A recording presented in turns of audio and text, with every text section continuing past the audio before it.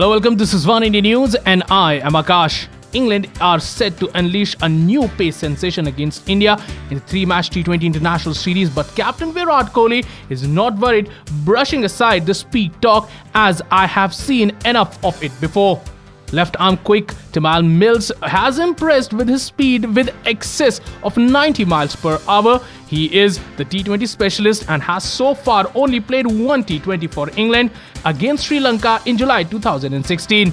On the eve of the first T20 at the Green Park Stadium in Kanpur, Kohli was asked by a British journalist about Mills and his 90 mile pace. No, I haven't seen Mills before, Kohli replied, and he continued that I have played 90 mile deliveries before in my career if they have brought him as a T20 specialist, obviously he might have a set of skills which is required in this format. With a smile on his face, the Indian skipper said that I will further comment on this in the second game after I have played him a bit, but 90 miles is not a problem at all. I think I have faced enough 90 mile bowlers till now.